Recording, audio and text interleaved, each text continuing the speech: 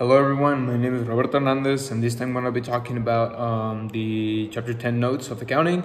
Uh, merchandising business is a business that purchases merchandise and sells that uh, merchandise to customers.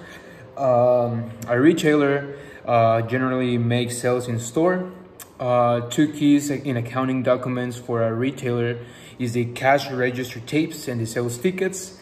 A sale is a transfer of merchandise from one business or individual to another in exchange for cash or a promise to pay cash, which is like the receivable.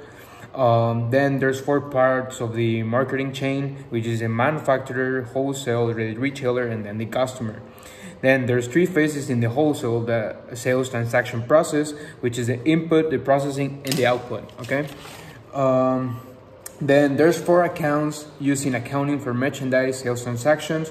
Is the sales, sales tax payable, the sales returning uh, and allowances, and sales discounts. Okay.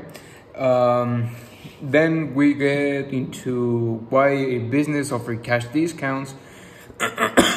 this encourages prompt payment by customers who buy merchandise on account.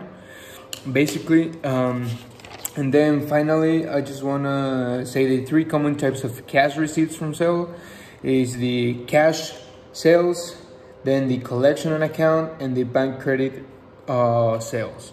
Thank you.